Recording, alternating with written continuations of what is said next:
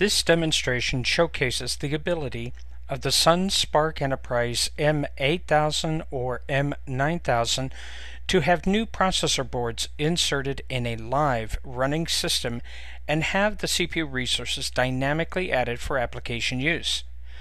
The primary benefits are near zero downtime to replace faulty components and maintain access to critical applications and corporate databases.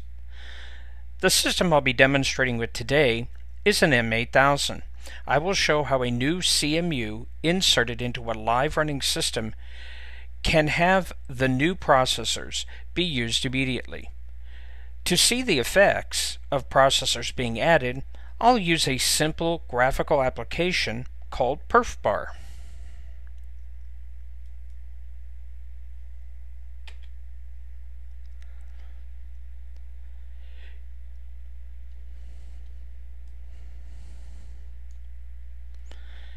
Now you'll notice the blue bars. They represent the individual threads provided by every active core on all active CPUs. I'm currently using four SPARC 64 6 processors on a single CMU board. Each is dual core with two threads per core. That's a total of 16 threads where Solaris represents each thread as a virtual CPU.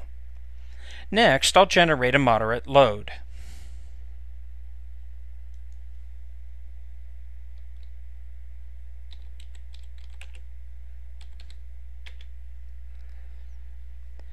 You can see how loads are spread across all available CPUs. As a side note, you will also notice that the bars are not even for all CPUs. This is a side effect of vertical multithreading, or VMT. The second thread in each core is only running approximately 15% of the time, as the processing must alternate between the threads in each core.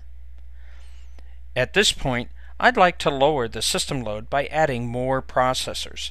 These could be the newest SPARC 64.7 processors running at 2.88 GHz. For this example, I'll use another CMU with four SPARC 64.6 processors. Let's run the add board command on the XSCF. You'll see add board -y. Yes, I really want to do it dash D0 for domain 0, and then the system board's XSB number.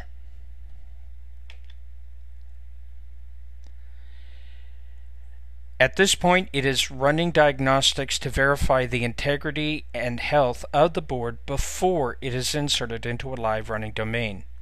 As this will take a while, let's pause while the system tests the board before it is added to the domain. So let's see how we're doing.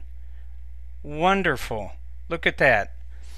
Finished. We now notice how PerfBar immediately displays the new CPUs and the system load is spread across the larger set of CPUs. Even though the load is more spread out, I'd like to isolate the load to use only the new CMU board I just added. At minimum, this will require creating a processor set and binding all the process loads to that set. A more flexible setup would be to create a resource pool with the CPUs bound to it. For now, let's just use a simple processor set, or pset.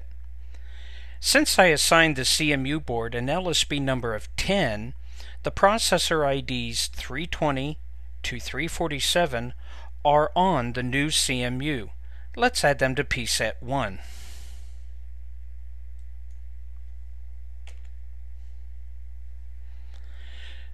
Notice in PerfBar how the load is moved off of those CPUs because they can only be used by processes associated with pset 1.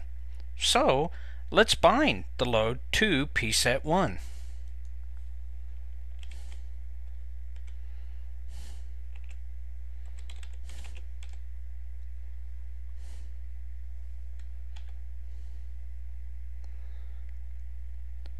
Well, look at that. Ta-da! Now pset 1 is running all the load. And because the pset is comprised of CPUs on the new CMU board, they will benefit from the new speed that board also provides.